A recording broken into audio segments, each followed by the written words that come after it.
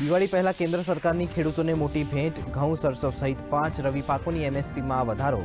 ઘઉંની એમએસપીમાં રૂપિયા એકસો પચાસ, જ્યારે સરસોમાં ત્રણસો રૂપિયા વધારો. કેન્દ્રીય મંત્રીમંડળના નિર્ણયની પ્રશંસા કરતા કૃષિમંત્રીએ કહ્યું, મોદી સરકાર ખેડૂતોના હિત માટે પ્રતિબદ્ધ.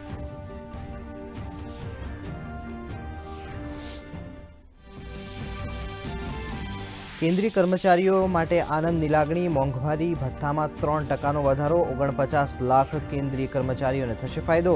કાશીમાં ગંગા નદી પર નવા રેલવે સહિત સડક પુલ અને વારાણસી પંડિત દીનદયાળ ઉપાધ્યાય મલ્ટી ટ્રેકિંગ યોજનાને મંજૂરી.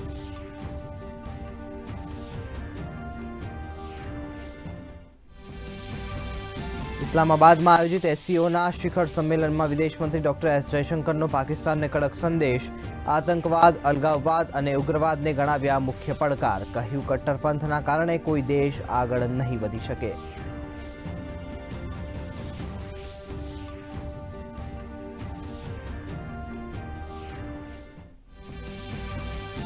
જમ્મુ કાશ્મીરના મુખ્યમંત્રી તરીકે ઉમર અબ્દુલ્લાએ લીધા શપથ. સુરેન્દ્રકુમાર ચૌધરી બન્યા નાયબ મુખ્યમંત્રી. કેન્દ્ર સાથે મળી કામ કરવાની વ્યક્ત કરી સરકારને બહારથી સમર્થન આપશે કોંગ્રેસ.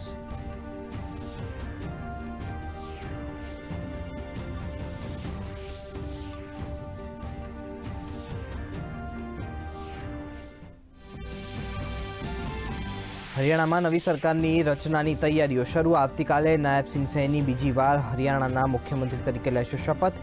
રાજ્યપાલને મળી સરકાર રચવાનો કર્યો દાવો. પ્રધાનમંત્રી નરેન્દ્ર મોદી શપથ ગ્રહણ સમારોહમાં આપશે હાજરી.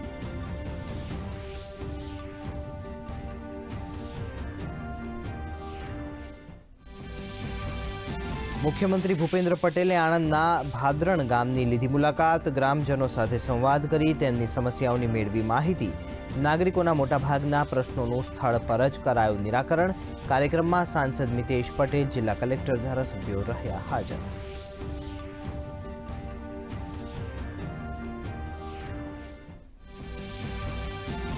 રાજ્યના અંતરિયાળ ગામોને મળશે અફોર્ડેબલ અને high quality mobile and digital service Bharat net program phase ત્રણ અંતર્ગત ભારત નેટ નેટવર્ક વધુ સુદૃઢ કરવા ઇન્ડિયા મોબાઈલ કોંગ્રેસમાં ગુજરાત સરકાર, કેન્દ્ર સરકાર વચ્ચે એમઓયુ રોજગારની નવી તકોનું નિર્માણ.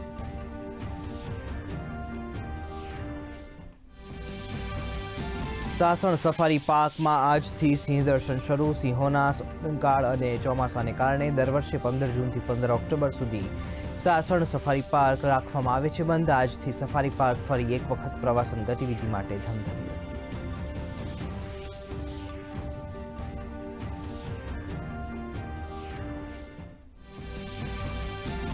આગામી ત્રણ દિવસ દક્ષિણ ગુજરાત, સૌરાષ્ટ્ર અને કચ્છમાં હળવાથી મધ્યમ વરસાદની આગાહી. સુરત, અમરેલી, ઝઘડિયા, વેરાવળ, સૂત્રપાડા પંથકમાં વરસાદ. ખેડૂતો ચિંતિત.